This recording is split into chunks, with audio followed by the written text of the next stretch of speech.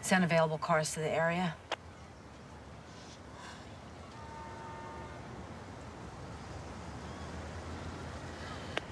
Suspect is wanted in a murder investigation. Hey guys, Pete here. This is my Mare of Easttown ending explained video. We got a big twist, which means I guessed wrong about a lot of things, and we pretty much got answers to everything. All the major stuff, anyway. No crucial questions left unanswered, but a little bit of lingering mystery. I'll break down everything that happened, what the ending means, and at the end of the video, I'll talk about what worked for me and what didn't. Really quick spoiler warning if you haven't watched the entire Mare of Easttown limited series, all seven episodes, then this video won't be for you. And with that out of the way, let's jump right into it. With about 10 minutes remaining in the finale of Mare of Easttown, her therapist reminds Mare that she throws herself into cases as a way of delaying her own grief about what happened to her son Kevin. That's followed by the question Do you think you're ready now to face what you're avoiding? I'll circle back around to explain the setup for how we got there, but this is the core of what drives the series. It's got a main character who peaked early, finds herself in a position of relative small town power. She's not just a cop, but a detective who's also kind of stuck where she's at, and she can't confront her grief. And it's real. To be sure, her son struggles with mental illness, drug addiction, and his eventual suicide. It's a lot to carry when you can't forgive yourself. Mare's inability to move past it is understandable. And at the same time, we see how not confronting that grief affects her life and everyone around her. The big question is whether or not she can confront her past and move on. We start out with answers about what Jess and Dylan were up to. It turns out that burning the journals was Jess's idea. She was trying to keep Erin's secret about DJ's real father from coming out, and in her own words, she was just trying to honor her friend. Dylan went along with this because he cared for DJ, but also knew that his parents wanted to continue to raise the child and that it would break their hearts if he was taken away from them. Jess changed her mind, and we learn that the photo she gave to the chief as proof is a shot Erin took of herself in bed with her cousin John Ross, who's next to her asleep. This is confirmation that John was the father, and the chief confirms the motivations for why Jess and Dylan did what they did. This concludes the Jess and Dylan story, except for a scene later that confirms Dylan's feelings for DJ. He visits Lori's house after hearing about the surgery and gives her money he'd been saving, including the envelope he found in Erin's room. At the river, we see that John is struggling with his plan to kill his brother. Billy had agreed to confess to Erin's murder, but John doesn't think that he can trust him to hold up under questioning. At this point, it's hard to figure out why Billy would go along with it in the first place. Billy understood that he brought the gun and suspected that he might be trying to kill him, and when he learns that that is John's plan, he encourages him to do it, that he'd be doing him a favor. And we get the idea that John convinced his brother by telling him that he had a family to look after while Billy had no one. He can't go through with it though, and when Mare arrives, he turns the gun on himself. Billy jumps on him, stops him from taking his own life, and as Mare's cuffing him, John begs Mare to just end his life rather than taking him in. There's no need to look too closely at what John confessed to about the night of the murder since we know that he wasn't telling the truth. He does confirm that their relationship, and I say that with heavy air quotes, started at the reunion. He is remorseless about that and goes on to tell them how he justified what he was doing saying that it was more than sex and that they had a connection and they could confide in each other and blah, blah, blah. The kind of things you would expect someone like that to say if they found themselves in that kind of situation. The other important thing that comes out of this is that Mare asks if Lori knew. And he says that he convinced her to lie to her for him, to tell her it was Billy that killed Erin. Later, we see John being arraigned, and he has a moment to talk to his wife outside the courtroom. He asks her to take DJ in and raise him. She doesn't say anything here, but does end up taking this on later. And after he leaves, we see her and Mare exchange a tense look. When she comes home, Helen asks if she talked to Lori. And we learn that Mare's pissed off that she obstructed the investigation, and at this point, the tension comes from her thinking it was all to protect John. She has a heart to heart with Siobhan about going to Berkeley, At first, she just says it's her life, she can do what she wants, but then when she's pressed, she tells her she thinks she should go. They have a moment here, and that pretty much wraps up the Siobhan story. But we do see her leave towards the end of the episode and how hard it is for everyone to say goodbye. After John's arrest, time moves on, and several of the other plot points are wrapped up. We see that Dawn and Beth helped Katie and Kenzie by giving them Freddie's house. I guess that makes more sense than his family moving back in where he died. We see that Lori finally gets poor little DJ his ear surgery, and in the process, see that the DJ stands for Dylan John. The custody dispute over Drew comes to an end when Carrie relapses. Mare and Frank are waiting at the mediators whenever she gets a call. Mare has a conversation with her as she's getting ready to leave for the treatment facility. Things start to unravel with the case when the family are all out together with Frank and Faye. Helen asks Frank if he's talked to John. He says that he hasn't, and he talks about how he can't believe John did what he did and he still took them home acting like nothing happened on the night that Erin died. There's one of those family generational moments when we see Helen, Mare, and Siobhan talking. Helen breaks down crying after they talk about Mare's childhood and how she took out a lot of her own frustrations on her daughter. Mare's noticeably uncomfortable, but says that she forgives her, and Helen says that's what she really wants for Mare to be able to forgive herself about Kevin because it wasn't her fault. That's one of those truths that you can think, that you can hear someone else say, that you can intellectually know is true, but accepting it is a whole different ballgame. And this is a major point that the show's trying to make. Mare may know this, but she hasn't been able to forgive herself. She goes to the bathroom and runs into Sandra. In their conversation, she learns that John wasn't actually having an affair with her this time. And that makes her think more about John's story. So we see her go back and start watching the tape, listening to him talk about not being able to remember what kind of gun Erin had. While she's doing that, we learn about Billy Ross's fate when the chief comes and tells her that because he cooperated, he'll be eligible for parole the next year. Frank is able to move on. He repaired his relationship with Faye, and everyone attended their wedding. And there is a conclusion to Richard's storyline. We see that Mare and him get together. Things look pretty good, but he had already accepted a different job, so he's going away for a one year contract. And in the end, he was just a nice guy that came to town and fell for Mare. I suppose his leaving is essential in Mare's journey. She needs to move on, and the way it's set up, he's not a necessary ingredient in that recipe.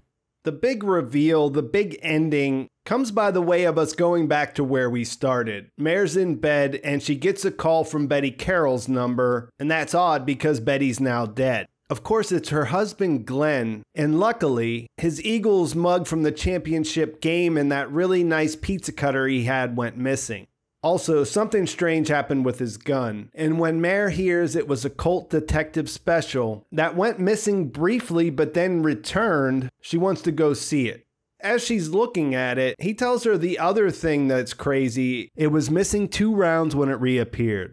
And when she hears that, she wants to know who has access to the shed. And it's a short list of suspects just Glenn himself and the kid who cuts his grass, who turns out to be Ryan Ross. That revelation brings us back to Glenn's security camera, which showed up in the first episode and continued to pop up throughout the series. She checks the footage. She's able to see Ryan sneaking into the shed on the night of Erin's murder. There's a really nice touch here where she makes an audible gasp when she understands what she's seeing, putting the pieces together that her best friend's son is involved with the death of his teenage cousin, a single mom who herself is the victim of sexual abuse at the hands of a trusted family member. She goes to his school, and when he sees her, he flees, and that prompts her to go back to her car and call it in. And we see that this crushes her. She drives to their house where Ryan's already told Lori that Mare's coming, and everything the Ross family did was to protect Ryan. And now that Mare's figured it out, the truth is going to come out. It's a devastating situation. These are Mare's people. She's close with the entire family, and it's her job to expose this teenager who made a crushing mistake and deliver justice for Erin.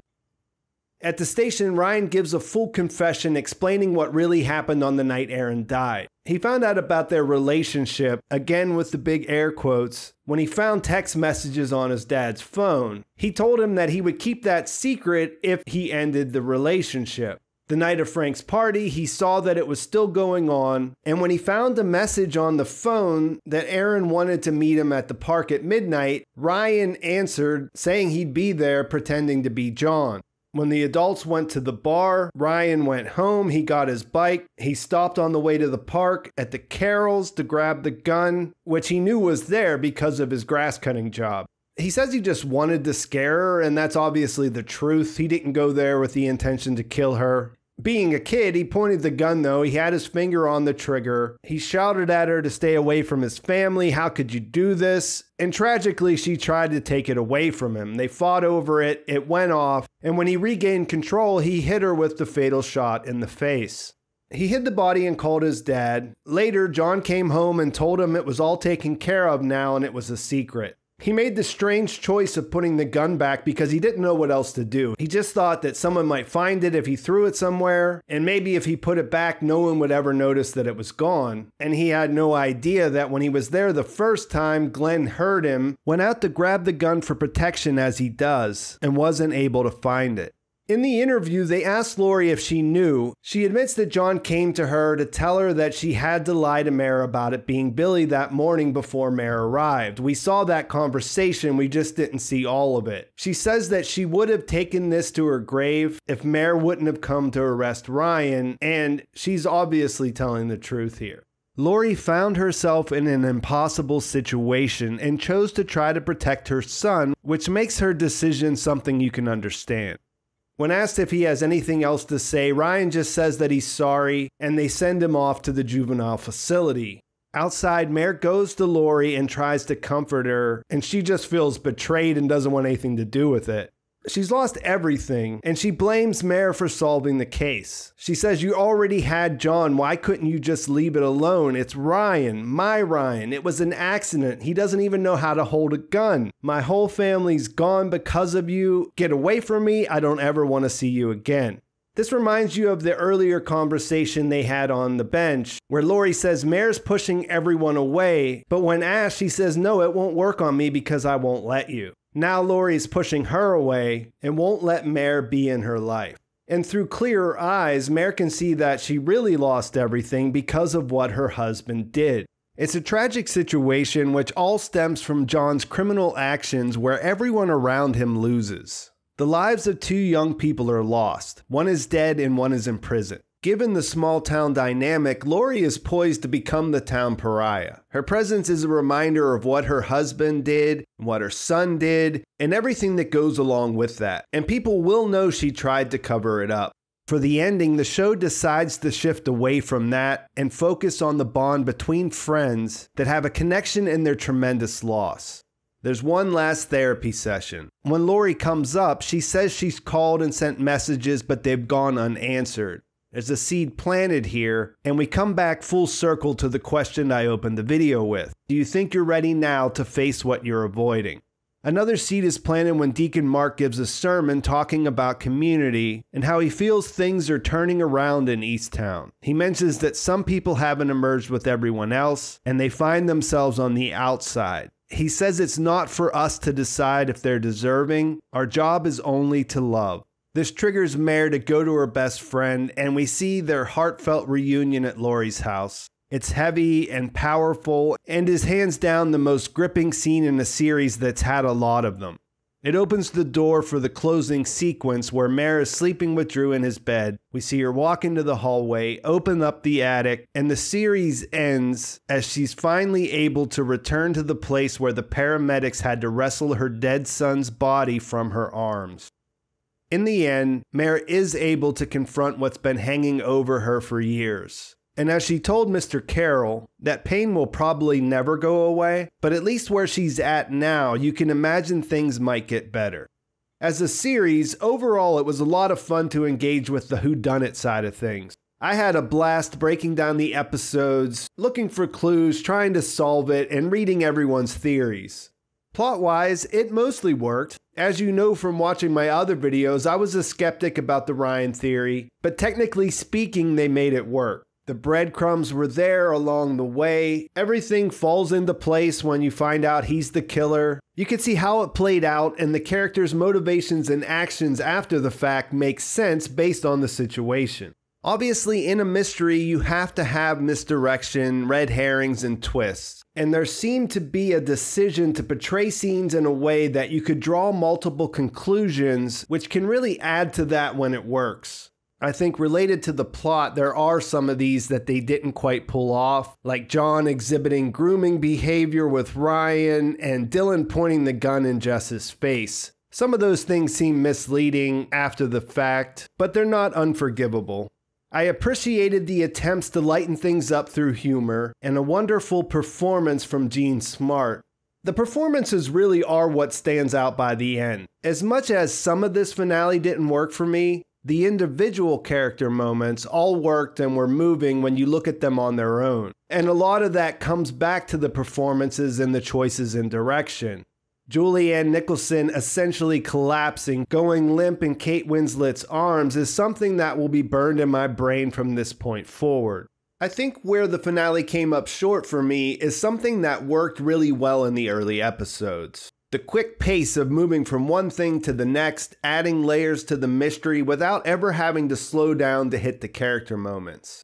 They nailed a balance of both elements, which is difficult to do. In the final episode, it didn't work nearly as well for me. And the character side of things suffered as the big showpieces didn't hit as hard as I would have expected them to. After John's arrested at the beginning of the episode, there's an expectation of a twist coming, and that takes up a lot of space. I think this stood out the most when they had that scene when they were out to eat with Frank and Faye. There's this important family moment between Helen and Mare, and it does work in that instant, but it almost feels out of place because there's so much other stuff going on. You experience it, and then you instantly move on to what's going on with this case that isn't quite making sense.